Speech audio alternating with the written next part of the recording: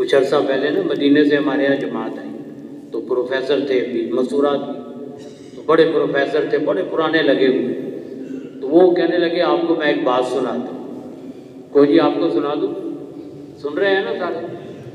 तो वो कहने लगे कि हम मौलाना सईद खान साहब के मस्जिद थी, मस्जिद नूर, मदीना मनवरा में। तो वहाँ बैठे हुए थे।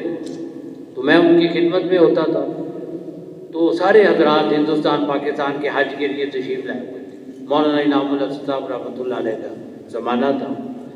हाजी अब्दुल साहब बड़े बड़े बुज़ुर्ग आए हुए।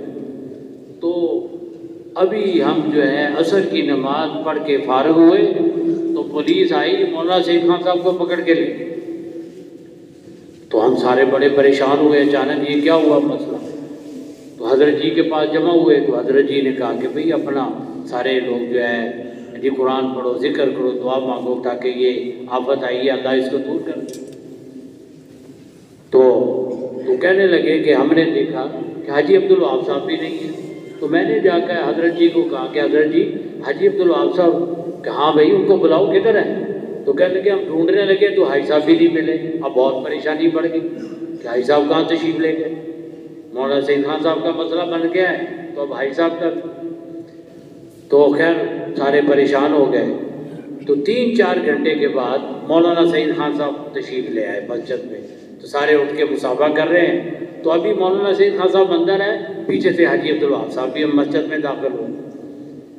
तो हज़रत जी ने पूछा कि अब्दुल वहाब, आप कहाँ चले गए थे? हम आप, उनकी परेशानी थी तो और परेशान हो गए। तो उन्होंने कहा, हज़रत बात यह है कि जब जो है हमें पता चला कि मौलाना को ले गए तो मैंने कहा कि इस वक्त कौन सा अमल किया जाए कि अल्लाह पाक इनको खलासी नसीब फरमा दे। तो मैंने किसी से पूछा कि इस वक्त मकामी गश्त मदीने में गाँव तो एक जगह ओहद के पास महल्ले में मकामी गश्त था तो मैं उसके साथ जाके उस गश्त में शरीक हो गया।